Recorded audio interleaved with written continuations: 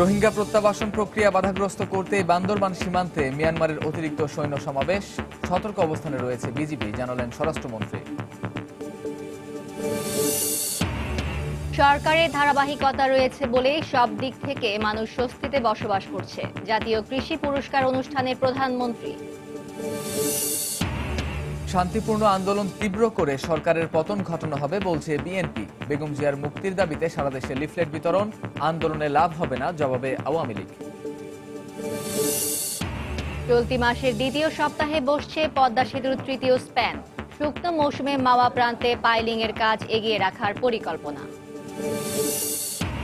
এবং আজ থেকে ত্রিশ এপ্রিল পর্যন্ত পদ্মা মেঘনা নদীতে সব ধরনের মাছ ধরা নিষিদ্ধ। ক্ষতিপূরণ পাবেন জেলেরা।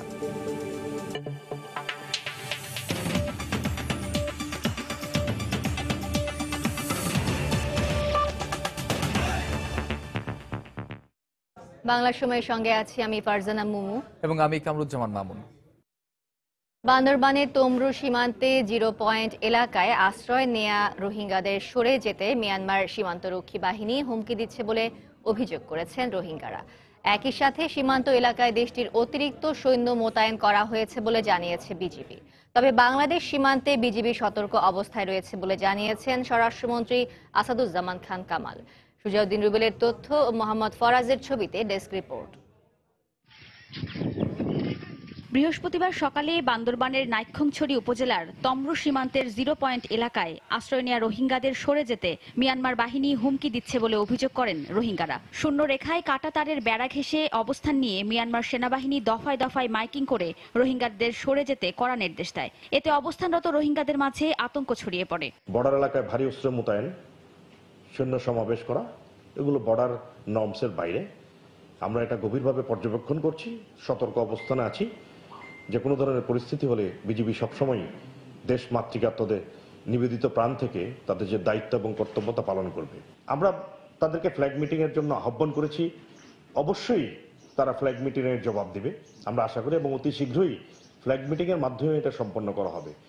রাখাইনে রোহিঙ্গা প্রত্যাবাসন প্রক্রিয়া বাধাগ্রস্ত করতেই তমরু সীমান্তে মিয়ানমারের অতিরিক্ত সৈন্য সমাবেশ করা হয়েছে। তবে বিজিবি সতর্ক রয়েছে বলে জানিয়েছেন স্বরাষ্ট্রমন্ত্রী আসাদুজ্জামান খান কামাল। কেন এখানে অহেতুক এই সমরাস্ত্র প্রদর্শন করছেন সেটা জানার চেষ্টা করেছেন বিজেপি ডিজি মহোদয়। আমাদের বিজেপি আমাদের সবাই অত্যন্ত সতর্ক রয়েছে। আমাদের আমাদের এখানে আসলে তারা আমাদের এলাকায় তাদের ঢুকতে দেওয়া হবে না। গত বছরের পঁচিশে আগস্ট মিয়ানমারের সহিংসতার পর বান্দরবানের তম্র সীমান্তের জিরো পয়েন্ট এলাকায় আশ্রয় নেয় অন্তত সাত হাজার রোহিঙ্গা। সময় সংবাদ বান্দরবান। আগামীতে উন্নত বাংলাদেশ গড়তে কৃষি অন্যতম শক্তি হবে উল্লেখ করে প্রধানমন্ত্রী শেখ হাসিনা বলেছেন খাদ্য উৎপাদনের পাশাপাশি প্রক্রিয়াজাতকরণেও গুরুত্ব দিতে হবে। সকালে রাজধানীর ওসমানী স্মৃতি মিলনায়তনে বঙ্গবন্ধু জাতীয় কৃষি পুরস্কার চোদ্দশো প্রদান অনুষ্ঠানে একথা বলেন তিনি। অনুষ্ঠানে কৃষি খাতে বিশেষ ভূমিকা রাখার জন্য বত্রিশ জনের হাতে পুরস্কার তুলে দেওয়া হয়। এ সময় প্রধানমন্ত্রী কৃষি খাতে গবেষণা বাড়ানোর আহ্বান জানান। বিএনপির সমালোচনা করে শেখ হাসিনা বলেন, সরকারের ধারাবাহিকতায় দেশের মানুষ স্বস্তিতে বাস করছে। কৃষি খাতের উন্নয়নে অনুপ্রেরণা যোগাতে দেশ স্বাধীনের পর উনিশশো তিয়াত্তর সাল থেকে জাতীয় কৃষি পুরস্কারের প্রবর্তন হয়। প্রতি বছর দেশের সম্ভাবনাময় কৃষক ও কৃষি উদ্যোক্তাদের এই পুরস্কারে উৎসাহ দিয়ে আসছে সরকার। বৃহস্পতিবার রাজধানীর ওসমানী স্মৃতি মিলনায়তনে কৃষি ক্ষেত্রে অনন্য অবদানের স্বীকৃতি হিসেবে চলতি বছর ব্যক্তি ও প্রতিষ্ঠান পর্যায়ে পাঁচজনকে স্বর্ণপদক নয় জনকে রৌপ্য পদক এবং আঠারো জনকে ব্রোঞ্জ পদকে ভূষিত করা হলো। প্রধানমন্ত্রী শেখ হাসিনা বত্রিশ জনের হাতে তুলে দেন কৃষি খাতের এই রাষ্ট্রীয় স্বীকৃতি। পুরস্কার প্রদান পর্ব শেষে অনুষ্ঠানে বক্তব্য রাখেন সরকার প্রধান শেখ হাসিনা। তিনি বলেন আওয়ামী লীগ কৃষি খাতে যথাসময়ে গবেষণার উদ্যোগ নিয়েছিল বলেই দেশে খাদ্য নিরাপত্তা নিশ্চিত হয়েছে। উদ্যোগ নিতে বলেন খাদ্য প্রক্রিয়াজাতকরণেরও। আমরা প্রথম থোক বরাদ্দ দিয়ে গবেষণা শুরু করি, কারণ গবেষণা ছাড়া খাদ্য উৎপাদন বৃদ্ধি কখনো সম্ভব নয়। মৎস্য উৎপাদন, হাঁস, মুরগি, মাংস, সেগুলি আমরা প্রক্রিয়াজাত করে নিজস্ব বাজারও আমাদের সৃষ্টি হচ্ছে আমরা বিদেশেও রপ্তানি করতে পারব। কৃষি খাতে নিয়োজিত বিজ্ঞানীদের আরও বেশি গবেষণার তাগিদ দিয়ে প্রধানমন্ত্রী বিনিয়োগকারীদের খাদ্য প্রক্রিয়াজাতকরণ শিল্প গড়ে তোলার আহ্বান জানান। উল্লেখ করেন কৃষিবিদ্যার প্রাতিষ্ঠানিক শিক্ষার ওপরও। অন্যান্য বিনিয়োগ তো হবে শিল্প কলকারখানা। সাথে সাথে কৃষি পণ্যগুলিকে প্রক্রিয়াজাত করার মানে শিল্প যেন তারা গড়ে তোলেন। কৃষিকাজে আমাদের শিক্ষার্থীরা যেন আন্তরিক হয় এবং তাদের একটা ব্যবহারিক শিক্ষা যেন থাকে। বিএনপির সমালোচনা করে শেখ হাসিনা বলেন তাদের চিন্তাভাবনাতেই পিছিয়ে গেছে দেশ। সরকারের ধারাবাহিকতায় দেশের মানুষ স্বস্তিতে রয়েছে বলেও দাবি সরকার প্রধানের। আমার নিজের দেশে উৎপাদন বাড়াবো নিজের দেশের মানুষের খাদ্য চাহিদা আমরা নিশ্চিত করব। অতীতে হয়তো যারা ক্ষমতায় ছিল তাদের চিন্তা ছিল যত আমদানি করতে পারব আমার ব্যবসা বাড়বে পকেটে কাঁচা টাকা আসবে। এছাড়া দেশের খাল পুকুর সহ জলাশয়গুলো স্থানীয় সরকার প্রকৌশল অধিদপ্তরের মাধ্যমে খনন করে পানি ধারণ ক্ষমতা বাড়ানোর উদ্যোগ নেওয়া হয়েছে বলেও উল্লেখ করেন প্রধানমন্ত্রী। দেবাশিস রায় সময় সংবাদ ঢাকা। শান্তিপূর্ণ আন্দোলন তীব্র করে সরকার পতনের হুঁশিয়ারি দিয়েছে বিএনপি। দলটির শীর্ষ নেতারা বলেন, নির্দলীয় সরকারের অধীনে নির্বাচনের দাবি আদায় করে জনগণের সরকার প্রতিষ্ঠায় এখন বিএনপির প্রধান লক্ষ্য। বেগম জিয়ার মুক্তি দাবিতে রাজধানীতে আয়োজিত পৃথক অনুষ্ঠানে তারা এ মন্তব্য করেন।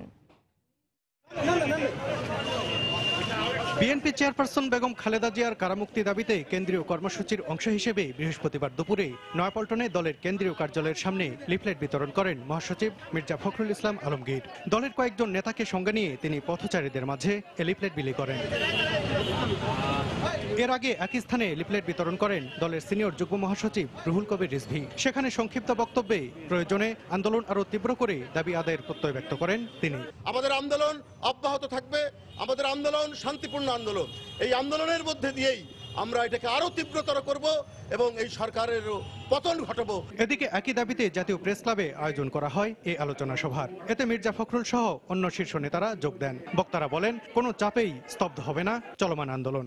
আমরা আমাদের অধিকার আদায় করে নেব ইনশাল্লাহ যত জুলুম যত নির্যাতন করবেন অধিকার আদায়ের সংগ্রাম ততই বাড়বে। অনুষ্ঠানে প্রধান অতিথির বক্তব্যে দলের মহাসচিব বলেন নেতাকর্মীদের মুক্তির পাশাপাশি জনগণের সরকার প্রতিষ্ঠার জন্যই আন্দোলন করছে বিএনপি। ঐক্যবদ্ধ হয়ে সকলকে যে দানব সেই দানবকে পরাজিত করতে হবে এবং সত্যিকার অর্থেই একটি নিরপেক্ষ সরকারের অধীনে নিরপেক্ষ নির্বাচন কমিশনের পরিচালনায় সকল দলের অংশগ্রহণে একটি নির্বাচনের মাধ্যমে একটা সরকার জনগণের সরকার প্রতিষ্ঠা করতে হবে। জাতীয় সংসদে ক্ষমতাসীনদের দেওয়া বক্তব্যের সমালোচনা করে মির্জা ফখরুল বলেন বিএনপি নয় সরকারই জড়িত দুর্নীতির সঙ্গে। বলার আগে আয়নায় তো নিজের মুখ দেখতে হবে। সালাউদ্দিন সুমন সময় সংবাদ ঢাকা।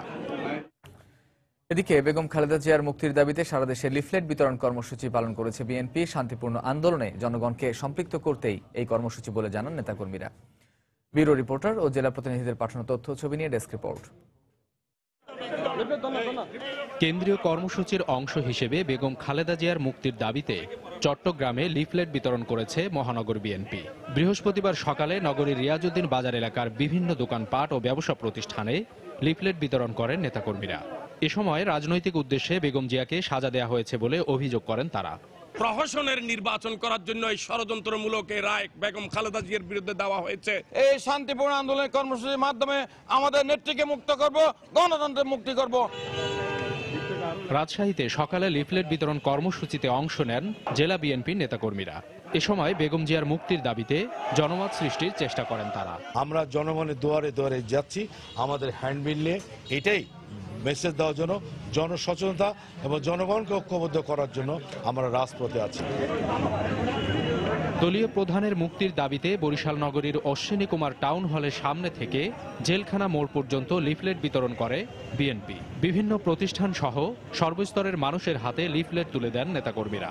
উৎসাহ উদ্দীপনা এবং উৎফুল্লভাবে লোকজন এটা গ্রহণ করছে এবং আমরা এটাকে ভবিষ্যতে এটা আন্দোলন সংগ্রামে জনসম্পৃক্ত আন্দোলনের একটি গুরুত্বপূর্ণ বিষয় মনে করি। এছাড়া খুলনা সহ দেশের বিভিন্ন স্থানে বেগম জিয়ার মুক্তির দাবিতে লিফলেট বিতরণ কর্মসূচি পালন করেছে বিএনপি ও এর অঙ্গ সংগঠন। সাবিত সারোয়ার সময় সংবাদ। এদিকে আন্দোলন সংগ্রাম করে নয় আইনি প্রক্রিয়ার মাধ্যমে বেগম খালেদা জিয়াকে কারাগার থেকে মুক্ত করতে হবে বলে মন্তব্য করেছেন আওয়ামী লীগের যুগ্ম সাধারণ সম্পাদক মাহবুবুল আলম হানিফ। দুপুরে ঝিনাইদহ পৌর আওয়ামী লীগের সম্মেলনে অংশ নিয়ে এই মন্তব্য করেন তিনি। আন্দোলন করে বেগম খালেদাকে মুক্ত করা যাবে না। এটা বিচারের মাধ্যমে কারাদণ্ড হয়েছে। বেগম খালেদাকে মুক্ত করতে হলে আইনি প্রক্রিয়ার মাধ্যমে আসতে হবে। আইন যদি তাকে মুক্ত না করে বেগম খালেদার কারাগার থেকে বেরোনোর কোনো সুযোগ নেই। আজকে বিএনপি নেতারা, তারা এই রায়ের বিরুদ্ধে তারা যে কর্মসূচি ঘোষণা করছেন, এটা আদালত অবমাননার সামিল। বিএনপি চেয়ারপারসন বেগম খালেদা জিয়ার সাজাকে কেন্দ্র করে মিথ্যাচারের মাধ্যমে দেশে অস্থিরতা সৃষ্টির চেষ্টা চলছে বলে মন্তব্য করেছেন খাদ্যমন্ত্রী অ্যাডভোকেট কামরুল ইসলাম। সকালে রাজধানীর কামরাঙ্গীর চরে ঐতিহাসিক সাত মার্চের জনসভা উপলক্ষে আয়োজিত প্রস্তুতি সভায় প্রধান অতিথির বক্তব্যে তিনি একথা বলেন। যারা একাত্তরের ঘাতকদের সাথে নিয়ে চলে, যারা একাত্তরের ঘাতকদের প্রতিনিধিত্ব করে, রাজাকারদের প্রতিনিধিত্ব যারা করে, তাদেরকে বাংলার মাটিতে আর রাষ্ট্রীয় ক্ষমতায় আসতে দেওয়া হবে না। নির্বাচন যথাসময়ে হবে এবং সংবিধান সম্মত পন্থায় নির্বাচন হবে। লেভেল প্লেইং ফিল্ডের জন্য কোনো সন্ত্রাসীকে মুক্তি দেওয়া হবে না। যারা আগুন সন্ত্রাস করে মানুষ হত্যা করেছে, মানুষ পুড়িয়ে মেরেছে, তাদের সাথে সংলাপ, এই খুনিদের সাথে যাদের হাতে রক্ত এই খুনিদের সাথে সংলাপে বসার কোনো প্রশ্নই ওঠে না। নির্বাচন হবে ডিসেম্বর মাসে, ইনশাআল্লাহ। একটা সুষ্ঠু, গ্রহণযোগ্য, শান্তিপূর্ণ নির্বাচনের আয়োজন করবে নির্বাচন কমিশন, আমরা আশা করি। শেখ হাসিনার সরকার সংবিধান সম্মতভাবে নির্বাচনকালীন সরকারের নেতৃত্ব দেবেন। বাংলার সময় আরও থাকছে। আগামী রোববার থেকে সারা দেশে খোলা বাজারে চাল বিক্রি শুরু, কেজি প্রতি চাল ত্রিশ টাকা, আটা সতেরো।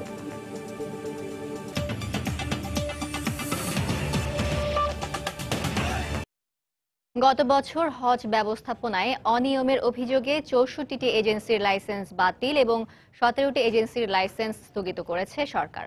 চলতি বছরের হজ নিবন্ধন কার্যক্রমের উদ্বোধনের সময় এ তথ্য জানান ধর্মমন্ত্রী অধ্যক্ষ মতিউর রহমান। আগামী চোদ্দই জুলাই থেকে শুরু হবে হজ ফ্লাইট। এজেন্সিগুলোর প্রতারণা, স্বেচ্ছাচারিতা, অনিয়ম এবং দুর্নীতির কারণে প্রতি বছরই হজ যাত্রীদের পড়তে হয় চরম ভোগান্তির মুখে। চলতি বছর এক লাখ সাতাশ হাজার একশো আটানব্বই জনের মধ্যে এইসব এজেন্সির মাধ্যমে যাবেন এক লাখ বিশ হাজার হজ যাত্রী। গত বছর অনিয়মের ঘটনায় একশো তিরানব্বইটি এজেন্সির বিরুদ্ধে অভিযোগ আসে সৌদি আরব ও বাংলাদেশের পক্ষ থেকে। তদন্ত কমিটি রিপোর্টের পরিপ্রেক্ষিতে ব্যবস্থা নেওয়া হয় তাদের বিপক্ষে। এই ধরনের ঘটনার বিরুদ্ধে হুঁশিয়ারির পাশাপাশি ভালো কাজ করা এজেন্সিগুলোকে আগামী বছর পাঁচ শতভাগ কোটা বাড়িয়ে দেওয়ার ঘোষণা মন্ত্রণালয়ের। ভালো করবে সবচেয়ে এরকম প্রথম কয়েকটাকে আমরা পুরস্কৃত করা হবে তাদেরকে সার্টিফিকেট দেওয়া হবে তাদেরকে প্রণোদন দেওয়া হবে ইনসেন্টিভ তিনশো জন হজযাত্রী সর্বোচ্চ নিতে পারে তো? তিনশো জন নিয়ে যিনি সবচেয়ে ভালো করেছেন তাকে আমরা হয়তো টেন পার্সেন্ট বা ফাইভ পার্সেন্ট বা ফোর পার্সেন্ট একটা বাড়িয়ে দিব কোটা। হজ করতে সরকারি ব্যবস্থাপনায় খরচ হবে তিন লাখ সাতানব্বই হাজার নয়শো উনত্রিশ টাকা। দ্বিতীয়বারের মতো কেউ হজ করতে চাইলে বাড়তি যোগ করতে হবে সাতচল্লিশ হাজার টাকা। এগারোই মার্চ পর্যন্ত চলা নিবন্ধনকালেই এজেন্সিগুলোকে পুরো টাকা পরিশোধ করতে হবে। আর চোদ্দই জুলাই থেকে শুরু হবে হজ যাত্রীদের সৌদি আরব যাওয়া। তথাকথিত কোন কাফেলা গ্রুপ লিডার দালাল মধ্যস্থভোগী ব্যক্তির সাথে হজের লেনদেন করে প্রতারিত হলে হজ যাত্রীকে উক্ত দায়িত্ব বহন করতে হবে। নতুন হজ নীতিতে পুলিশ ভেরিফিকেশনের কার্যক্রম বিলুপ্ত করা হয়েছে। এর আগে আনুষ্ঠানিকভাবে উদ্বোধন করা হয় হজ নিবন্ধন কার্যক্রম। এই সময় জানানো হয়, শিডিউল বিপর্যয় রোধে থার্ড ক্যারিয়ারে যাত্রী নেওয়ার বিষয়ে এখন পর্যন্ত কোনো সিদ্ধান্ত হয়নি। হজ বিষয়ে কোনো অভিযোগ থাকলে হটলাইন নম্বরে সরাসরি যোগাযোগ করার অনুরোধও করা হয় মন্ত্রণালয়ের পক্ষ থেকে। ইহসান জুয়েল, সময় সংবাদ, ঢাকা। অস্ত্র মামলায় ফেনীর সংসদ সদস্য নিজাম হাজারি সাজা কম খেটে জেল থেকে বের হয়েছেন তার বিস্তারিত তদন্ত প্রয়োজন। মামলার কাগজপত্র পর্যালোচনা করে আদালত বলেন, হাজারির সাজা পুরোপুরি খাটা না খাটার বিষয়টি অস্পষ্ট। এমন পর্যবেক্ষণ দিয়ে তার এমপি পদ বৈধ ঘোষণা করেছেন হাইকোর্ট। বৃহস্পতিবার হাইকোর্টের একক বেঞ্চ এ রায় দেন। এর আগে হাজারির এমপি পদের বৈধতা চ্যালেঞ্জ করে করা রিট শুনানি করে করতে বিব্রত হন হাইকোর্টের আটটি বেঞ্চ। রায়ের বিরুদ্ধে সর্বোচ্চ আদালতে আপিল করার কথা জানিয়েছেন রিটকারী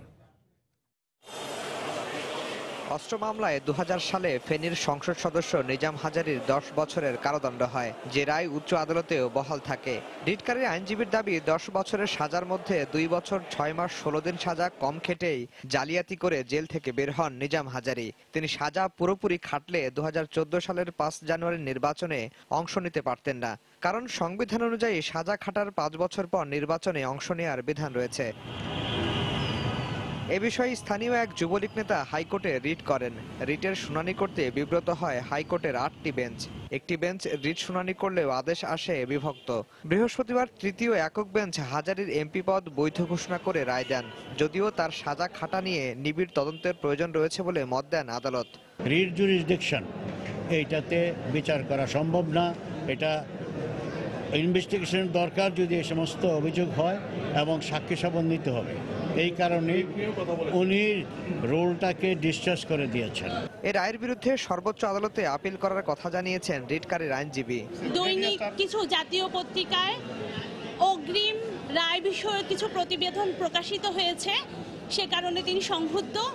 এবং তিনি এই রায়ের বিরোধিতা করে উচ্চ আদালতে আপিল করবেন। এর আগে বৃহস্পতিবার সকালে রায় ঘোষণার দুই দিন আগ থেকেই হাজারের সমর্থকরা ফেনীতে আনন্দ মিছিল করছে গণমাধ্যমে প্রকাশিত এমন প্রতিবেদন। প্রধান বিচারপতির দৃষ্টি আকর্ষণ করেন রিটকারী। পরে এ বিষয়ে রিটকারীকে আশ্বস্ত করেন প্রধান বিচারপতি। আফজাল হোসেন সময় সংবাদ ঢাকা। পদ্মা সেতু নির্মাণ কাজের অগ্রগতি নিয়ে প্রতি মাসের এক তারিখে আমরা বিশেষ রিপোর্ট প্রচার করে থাকি। এই ধারাবাহিকতায় আজ থাকছে তৃতীয় স্প্যান বসানোর বিষয়ে একটি রিপোর্ট। চলতি মাসে দ্বিতীয় সপ্তাহে বসছে পদ্মা সেতুর তৃতীয় স্প্যান। নদীতে নিয়ে যাওয়ার আগে ইয়ার্ডে স্প্যান রং করা সহ সব প্রস্তুতি প্রায় সম্পন্ন হয়েছে। এদিকে শুকনো মৌসুমের সুবিধা কাজে লাগাতে চলতি বছরের জুন মাসের মধ্যে মাওয়া প্রান্তের পাইলিংয়ের কাজ এগিয়ে রাখতে চান প্রকল্প সংশ্লিষ্টরা। প্রকল্প এলাকা ঘুরে এসে ইহসান জুয়েলের রিপোর্ট, ছবি তুলেছেন সাইফুল ইসলাম।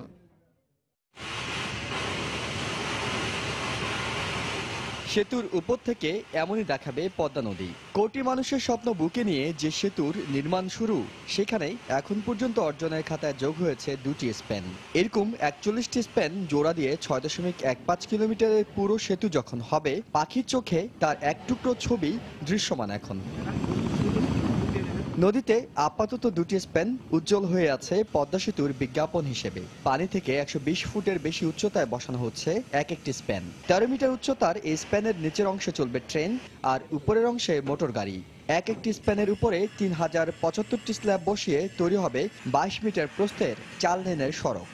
প্রথম স্পেনটি বসানোর পর দ্বিতীয় স্পেন বসাতে সময় লেগেছে প্রায় চার মাস। সেই অভিজ্ঞতা কাজে লাগিয়ে এবার তৃতীয় স্পেনটি বসানো হবে দেড় মাসের মাথায়। আমাদের স্প্যানের রং করা থেকে শুরু করে এভরিথিং রেডি এখন আমরা নিয়ে যাব ওই পারে। আমাদের কিছু আনুষঙ্গিক কাজ ওখানে আছে সেগুলো করবে। দশ তারিখের মধ্যে ইনশাল্লাহ উঠবে এই- এইভাবে আমরা কাজ করছি চীন থেকে আনা ছোট টুকরোগুলোকে জোড়া লাগিয়ে তৃতীয় স্প্যান চূড়ান্ত করতে সময় লেগেছে প্রায় চার মাস।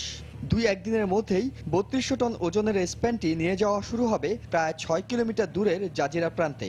স্প্যান তোলার কাজ জাজিরা প্রান্তে হলেও তীব্র স্রোত এবং নকশা জটিলতার কারণে বেশ পিছিয়ে আছে মাওয়া প্রান্তের কাজ। তবে শুক্ত মৌসুমের সুবিধা পেতে এই প্রান্তেও এখন কাজে গতি আনা হচ্ছে। মেইন চ্যানেল যেটা মামার দিকে, এটায় বর্ষার সময় কাজ করা সম্ভব না। মানে কারেন্ট এত বেশি থাকে প্লাস এখানে পরিবেশগত কিছু আছে রেস্ট্রিকশন আগামী কয়েক মাসের ভিতরে এই কয়েকটা খুঁটি আমার পাইল বসাতে হবে। প্রতিটি পিলারে ছয়টি করে মোট দুশো বাউন্নটি পাইল বা খুঁটির মধ্যে বসানো হয়েছে একশো পনেরোটি। বর্তমানে তিনটি হ্যামার পুরো সক্রিয় থাকায় প্রতি দুই দিনে একটি করে খুঁটি বসানো সম্ভব হচ্ছে। পদ্মা সেতুর যে দুটি স্প্যান বসে গিয়েছে আমরা এখন দাঁড়িয়ে আছি সে দুটি স্প্যানের একেবারে চূড়োয় পানি থেকে প্রায় বিশতলা ভবনের উচ্চতায়। সেতুর সাঁত্রিশ এবং আটত্রিশ নম্বর পিলারের মধ্যে প্রথমে স্পেনটি এবং এরপর আটত্রিশ ও উনচল্লিশ নম্বর পিলারের মধ্যে বসে গিয়েছে দ্বিতীয় স্প্যানটি আর চলতি মাসের মধ্যে উনচল্লিশ ও চল্লিশ নম্বর পিলারের উপর তৃতীয় স্প্যানটি বসিয়ে দেওয়া সম্ভব হলেই দৃশ্যমান হয়ে উঠবে চারশো পঞ্চাশ মিটার দৈর্ঘ্যের পদ্মা সেতু। ইহসান জুয়েল সময় সংবাদ, জাজিরা, শরীয়তপুর। বাংলার সময় আরও থাকছে।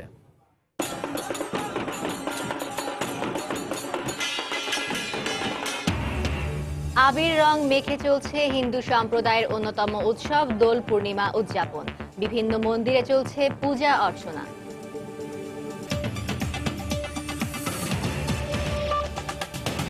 পশ্চিম আফ্রিকার দেশ মালিতে বোমা বিস্ফোরণে নিহত চার বাংলাদেশি সেনা সদস্যের বাড়িতে চলছে শোকের মাতম। উদ্বেগ ও উৎকণ্ঠায় রয়েছেন আহত অপর চার সেনা সদস্যের স্বজনরা। এদিকে শান্তিরক্ষীদের ওপর হামলার ঘটনার ক্ষোভ প্রকাশ করে নিহতদের পরিবারের প্রতি সমবেদনা জানিয়েছে জাতিসংঘ। বিস্তারিত ডেস্ক রিপোর্টে।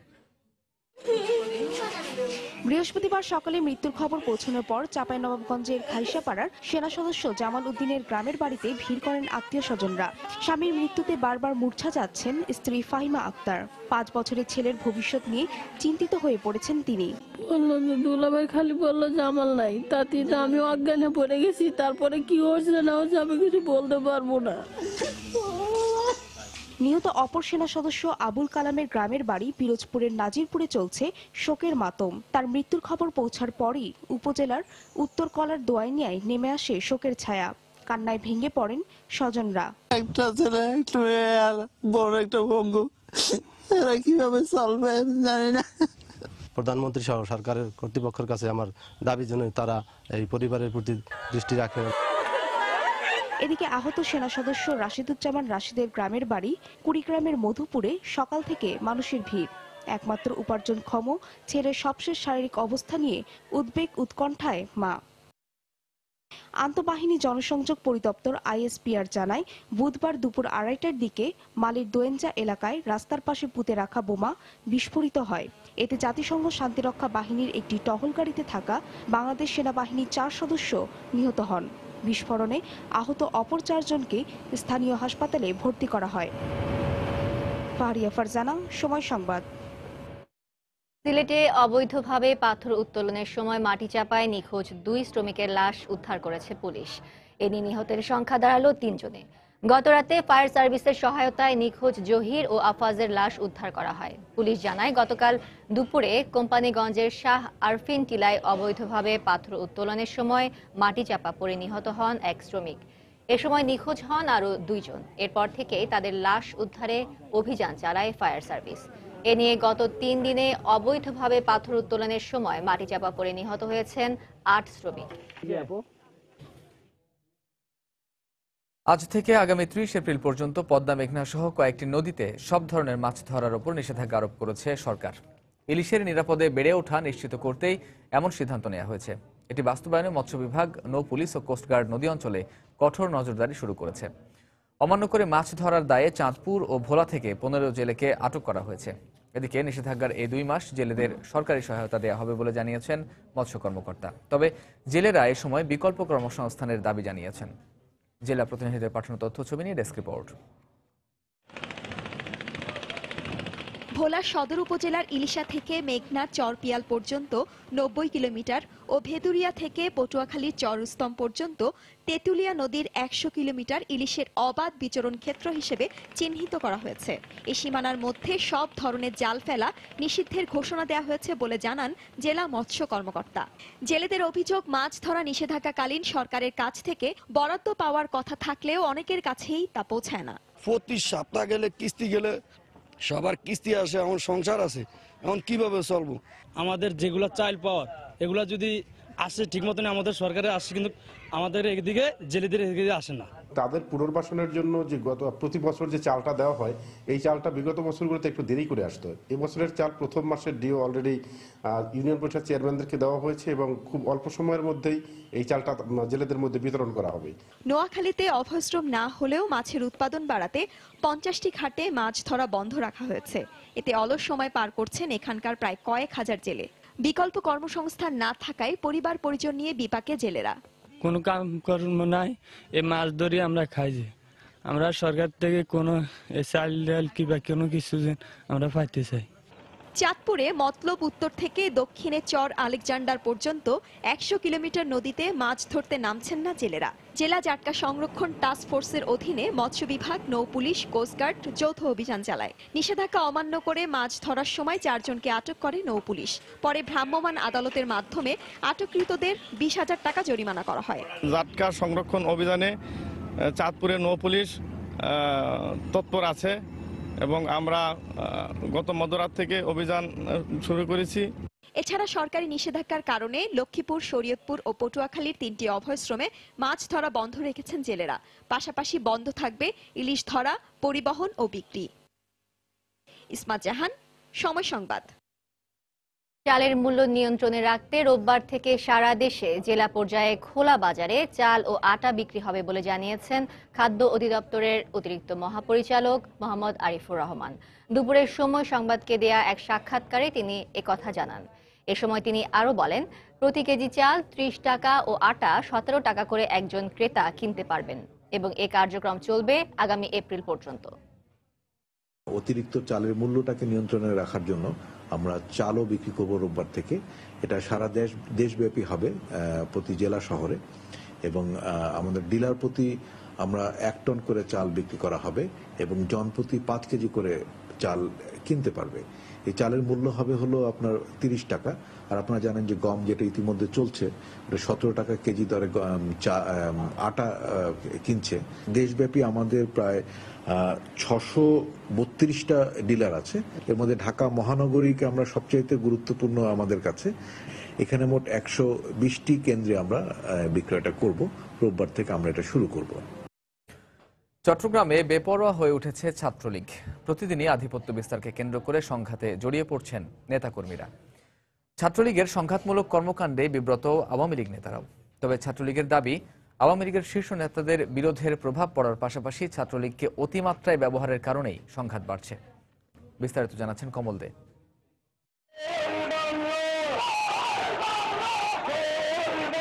চট্টগ্রামে প্রায়শ ছাত্রলীগের নেতাকর্মীরা স্লোগান, পাল্টা স্লোগান, হুড়ুহুড়ি ও চেয়ার ছুড়োছুড়ির মতো সংঘাতে জড়িয়ে পড়ছে।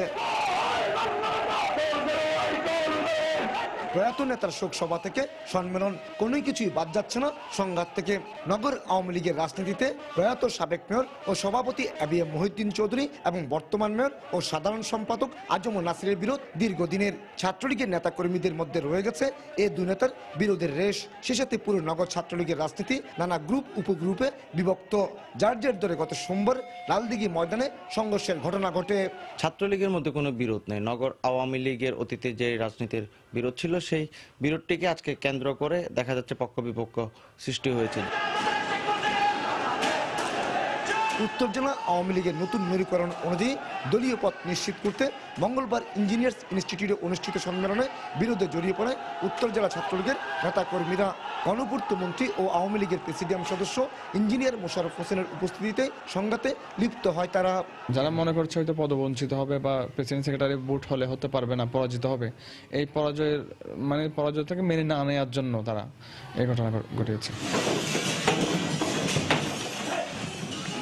আর চট্টগ্রাম বিশ্ববিদ্যালয়ে ছাত্রলীগের বিরোধ মীমাংসা করতে না পেরে শেষ পর্যন্ত কমিটিয়ে বিলুপ্ত করা হয়। বরং কমিটি বিলুপ্তির পর চট্টগ্রাম বিশ্ববিদ্যালয় ছাত্রলীগ আরও বেশি বেপরোয়া হয়ে প্রক্টর অফিস সহ বিশ্ববিদ্যালয়ে তাণ্ডব চালিয়েছে। ছাত্রলীগের যদি কেউ করে থাকে যেহেতু আমাদের কমিটি নেই তাদের বিরুদ্ধে প্রশাসনিক ব্যবস্থা নেওয়া হোক এবং ইতিমধ্যে আপনারা দেখেছেন যে চট্টগ্রাম বিশ্ববিদ্যালয় কর্তৃপক্ষ তাদের বিরুদ্ধে ব্যবস্থা নিয়েছে। ছাত্রলীগের ধারাবাহিক সংঘাতে বিব্রত আওয়ামী লীগ নেতারা। আদর্শহীন রাজনীতি চর্চার কারণে ছাত্রলীগ বারবার সংঘাতে জড়াচ্ছে বলে অভিযোগ তাদের। এভাবে চলতে পারে না এটা চলা উচিত নয়। এগুলো যত দ্রুত সম্ভব আমাদের থামাতে হবে এবং থামাতে পারলে আমরা আমি মনে করি রাজনীতি উপকৃত হবে। তারা রাজনীতির যে মূল আদর্শিক যে স্ট্রিম সেটা তারা বুঝতে পারতেছে না। কোন আওয়ামী লীগ নেতা কি বলছে তোমরা মারামারি করো? এটা তো শোকসভা। তারা তারাই তো করল গত কয়েক বছর ধরে বৃহত্তর চট্টগ্রামে ছাত্রলীগ নেতারা একাধিকবার বিরোধে জড়ানো এখন পর্যন্ত সাংগঠনিকভাবে কোনো শাস্তিমূলক ব্যবস্থা নেওয়া হয়নি। কমল দে সময় সংবাদ চট্টগ্রাম। চট্টগ্রামে ছাত্রলীগ নেতা সুদীপ্ত হত্যার মূল পরিকল্পনাকারী রুবেলকে গ্রেফতার করেছে পুলিশ। গতরাতে নগরীর মুরাদপুর থেকে তাকে গ্রেফতার করা হয়। পুলিশ জানায়, এর আগে গ্রেফতার মামলার অন্য আসামিদের স্বীকারোক্তিতে রুবেল হত্যাকাণ্ডে জড়িত বলে জানা যায়। গত বছরের ছয় অক্টোবর সদরঘাট থানার দক্ষিণ নালপাড়ায় নিজ বাড়ি থেকে ডেকে নিয়ে ছাত্রলীগের সহ সম্পাদক সুদীপ্ত বিশ্বাসকে হত্যা করা হয়। এ ঘটনায় কয়েকজনের নাম উল্লেখ সহ অজ্ঞাত ত্রিশ জনকে আসামি করে, মামলা করে সুদীপ্তর পরিবার। বিভিন্ন সময় পুলিশের অভিযানে চার আসামিকে গ্রেফতার করা হয়। এদিকে গ্রেফতার রুবেল দু হাজার চোদ্দ সালে চট্টগ্রাম বিশ্ববিদ্যালয়ের ছাত্র তাপস হত্যাকাণ্ডেও জড়িত বলে জানিয়েছে পুলিশ। দেশের বিভিন্ন স্থানে আলাদা অভিযানে বিপুল পরিমাণ মাদকদ্রব্য সহ পাঁচ জনকে আটক করেছে র্যাব। র্যাব আট জানায়, গতরাতে মাদারীপুরের কাঁঠালবাড়ি ফেরিঘাট এলাকায় যশোরগামী একটি কাভার্ড ভ্যানে তল্লাশি চালিয়ে ছশো বোতল ফেন্সিডিল উদ্ধার করে তারা। এ সময় দুজনকে আটক করা হয়। এছাড়া ফরিদপুরের ভাঙ্গা উপজেলা থেকে বারো কেজি গাঁজা ও বিরানব্বই পিস ইয়াবা সহ দুজনকে আটক করা হয়। এদিকে শরীয়তপুরের জাজিরা থেকেও ইয়াবা সহ একজনকে আটক করেছে র্যাব।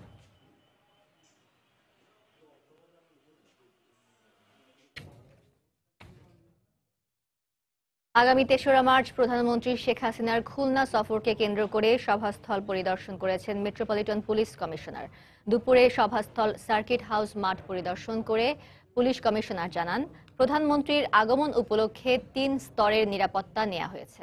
এছাড়া শহরের বিভিন্ন পয়েন্টে সিসি ক্যামেরা বসানো সহ চেকপোস্ট বাড়ানো হয়েছে। তেসরা মার্চ, খুলনায় বিভিন্ন প্রকল্পের ভিত্তিপ্রস্তর উদ্বোধন শেষে সার্কিট হাউস মাঠে আওয়ামী লীগের জনসভায় বক্তব্য দেওয়ার কথা রয়েছে প্রধানমন্ত্রী শেখ হাসিনার।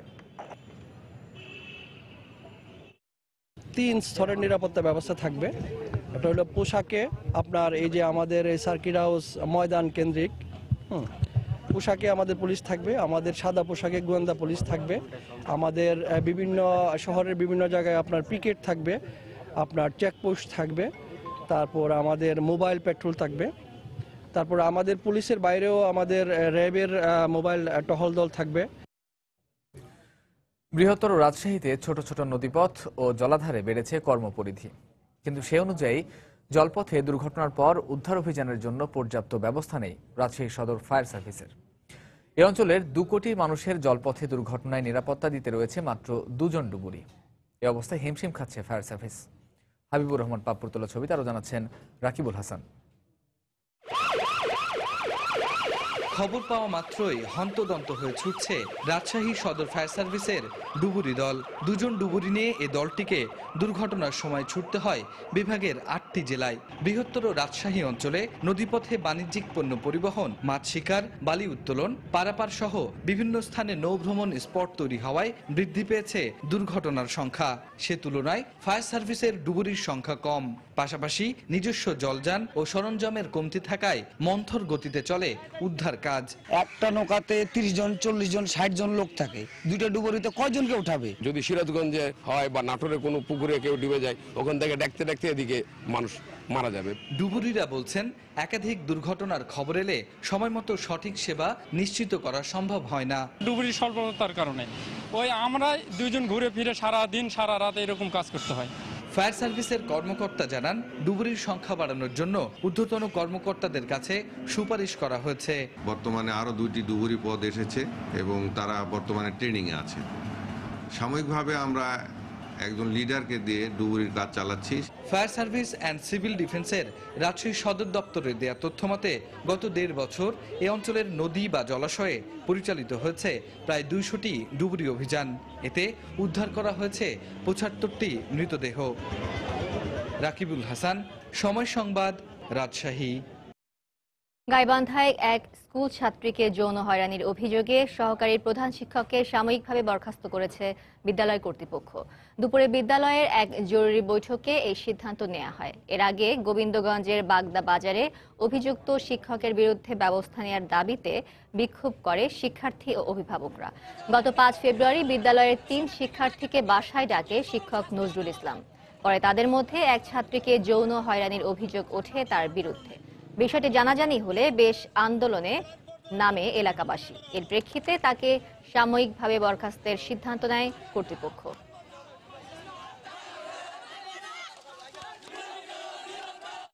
আমরা এই বিষয়টা ইউনো মহোদয় এবং যথাযথ কর্তৃপক্ষকে অবগত করব, যাতে তদন্ত সাপেক্ষে দোষী শিক্ষকের বিরুদ্ধে প্রয়োজনীয় ব্যবস্থা গ্রহণ করেন। দায়িত্ব পালনকালে দুর্বৃত্তের হামলায় নিহত পুলিশ সদস্যদের স্মরণে দেশের বিভিন্ন স্থানে পুলিশ মেমোরিয়াল ডে পালন করা হয়েছে। এ উপলক্ষে সকালে নাটোরের হরিশপুর বাইপাস এলাকা থেকে একটি র্যালি বের করা হয়। র্যালিটি বিভিন্ন সড়ক প্রদক্ষিণ করে পুলিশ লাইনে গিয়ে শেষ হয়। পরে সেখানে নির্মিত স্মৃতিস্তম্ভে পুলিশের পক্ষ থেকে গার্ড অব অনার এবং ফুল দিয়ে শ্রদ্ধা জানানো হয়।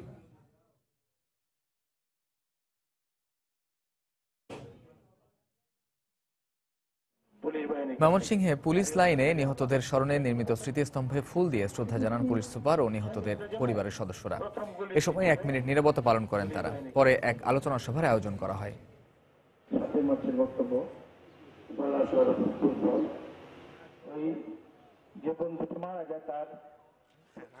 চাঁদপুরে দায়িত্ব পালনকালে নিহত এগারো পুলিশ সদস্যের স্মৃতিস্তম্ভে ফুল দিয়ে শ্রদ্ধা জানানো হয়। পরে তাদের স্মরণে এক আলোচনা সভার আয়োজন করা হয়।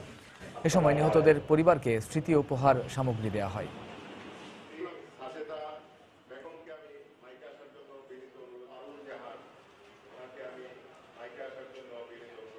এছাড়া ঝিনাইদহ, গাইবান্ধা, ভোলা ও পঞ্চগড় সহ দেশের বিভিন্ন স্থানে নানা আয়োজনে দিবসটি পালন করা হয়েছে।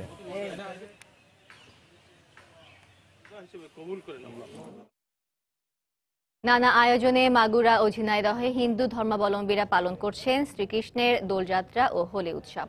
দিনটি উপলক্ষে সকালে মাগুরায় একটি বর্ণাঢ্য র্যালি বের করা হয়। র্যালিটি নিয়ে বিভিন্ন সড়ক ঘুরে সাতদোহা আশ্রমে গিয়ে শেষ হয়। সেখানে ভক্তরা একে অপরকে আবির মেখে হোলি উৎসবে মেতে ওঠেন।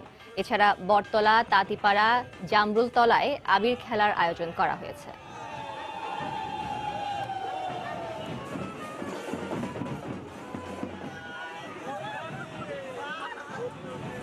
এদিকে দোল পূর্ণিমা উপলক্ষে ঝালকাঠির বিভিন্ন এলাকায় সকাল থেকে দুপুর পর্যন্ত চলে হিন্দু ধর্মাবলম্বীদের নানা আচার অনুষ্ঠান। এরপর শিশু কিশোরদের পাশাপাশি বড়রাও মেতে ওঠেন আবির খেলায়। একে অপরকে রং মেখে শুভেচ্ছা বিনিময় করেন তারা।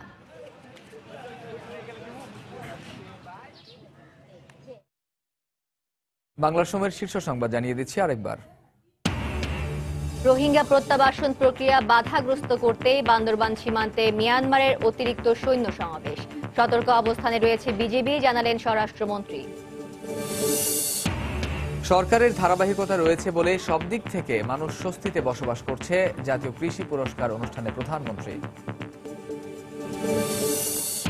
শান্তিপূর্ণ আন্দোলন তীব্র করে সরকারের পতন ঘটানো হবে বলছে বিএনপি।